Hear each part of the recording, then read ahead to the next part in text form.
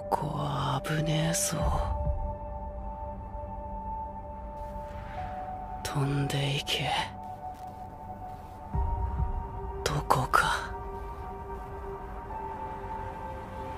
遠くへ。時期が迫ってる。次の戦士が選ばれるんだ。鎧の巨人の継承者が。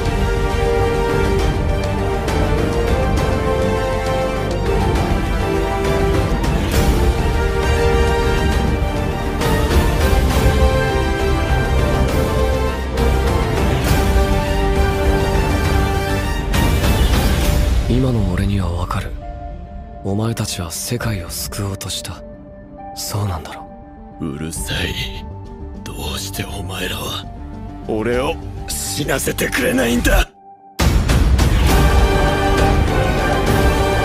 始祖ユミルの出現から今日に至るまでどれほどの命が巨人に奪われたことでしょう。しかし近年その平和思想は淘汰され始祖の巨人はパラディ島に住むある者に奪われました。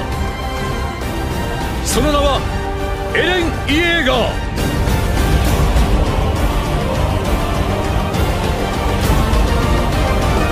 今ここに宣言します。パラディ島敵勢力へ宣戦布告を